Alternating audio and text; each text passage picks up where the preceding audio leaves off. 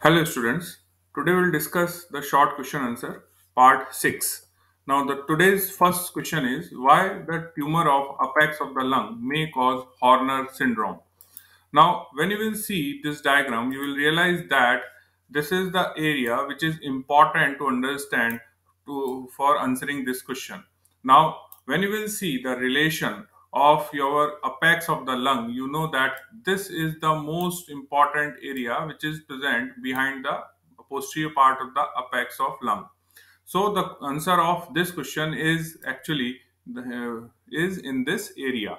So due to the damage of the cervical part of the sympathetic chain as it crossed in front of the neck of first rib behind the apex of lung. So first you have to understand this anatomy that this is the neck of your first rib. And in front of this area you are having this elongated chain and this is the sympathetic chain. So what will happen that there is an involvement of stellate sympathetic ganglia occurs and this type of the compression of the sympathetic ganglia lead to the horner syndrome. Now this condition is generally seen in the Pancoast tumor which is a tumor of the apex of your lung and it arises from the posterior side. Now, sometimes you have the clinical scenario based question on this condition that a 50 year old man present with the history of chronic smoking and he is having the complaint of the absence of sweating on right side. Now, you know that uh, the Horner syndrome is having the feature of anhidrosis that means absence of sweating. Now, on examination, there is a partial drooping of upper eyelid on the right side with the constriction of the pupil noted in the right eye. So here if you will see you will realize that patient is having anhidrosis, patient is having the partial ptosis and there is a miosis is present on the right side.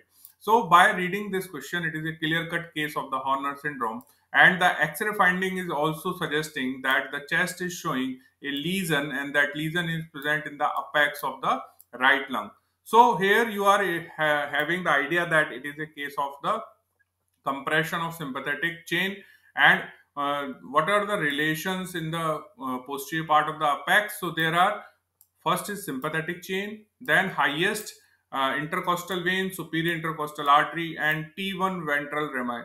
So whenever the compression of this part occurs, it will lead to the Horner syndrome. Clear? So you can uh, now see that there are two questions based on this cl clinical scenario. Name the posterior relation of apex and explain the reason. So explain of the reason is that there is a compression of sympathetic chain. Now you have the very another important uh, term is known as corpora arenacea. So you have the question what is corpora arenacea and its clinical importance. So corpora arenacea is having another name is known as brain sand now it occurs due to the physiological calcification of the pineal gland and due to the presence of this calcification granules in the pineal gland, the uh, pineal gland become visible on the CT scan of head and also on x-ray but it is seen after the age of 40 years.